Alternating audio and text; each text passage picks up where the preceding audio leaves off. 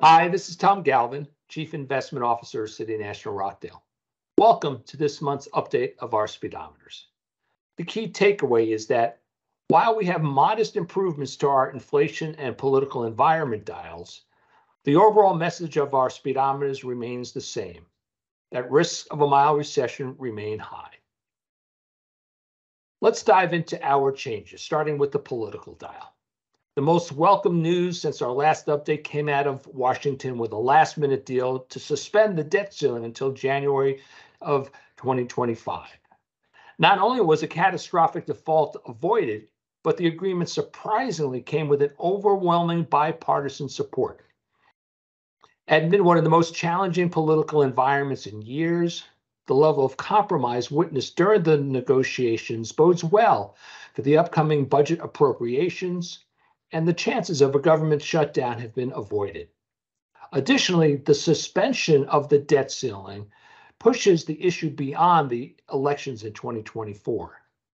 The Fiscally Responsible Act had other modestly good news in it, in that it is expected to reduce the deficit by $1.5 trillion over the next 10 years, the first time in a while that the outlook for the deficit is going down.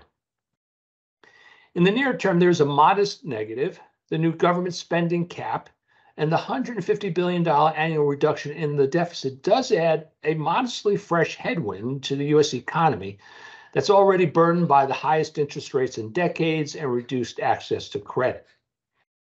Federal spending in recent quarters has increased, helping to support economic growth. And while the deal doesn't include significant spending cuts, it will likely at least dampen the recent benefits. The second dial we modestly moved is our inflation dial. The Fed's battle against inflation is far from over. While the Fed's preferred measure against inflation, the core PCE, upticked modestly recently to 4.7, there are improvements in many key components that we see. Goods inflation continues to move lower. Lower housing prices are finally working their way into measures of the so-called supercore inflation. And in our base case forecast for inflation, we're continuing to see a downward glide path, and we expect inflation to gradually become less of a headwind over the second half of the year and provide a boost to real household wages. This potential tailwind for the consumers is part of the reason why we are expecting a mild recession. Now, while we don't have any changes to report to you on the consumer dials, there's been some fresh economic data, so let's discuss that. Starting with labor markets, good news and bad news. The good news is the job market remains undeniably strong. The JOLTS data, ADP data, and the all important non farm payrolls numbers were all above estimates. The economy remains vibrant and can readily absorb workers. Employment gains in May were broad based, led by professional services, government, healthcare, and other areas. Bad news is, though, is that while wage growth cooled modestly at a 4.3% in this most recent reading, it remains elevated and above the Fed's target. Let's take a look at the consumer spending dial. Consumer spending had good news and bad news. The good news is that in the month of April, spending was stronger than expected, reversing sluggish spending patterns in February and March.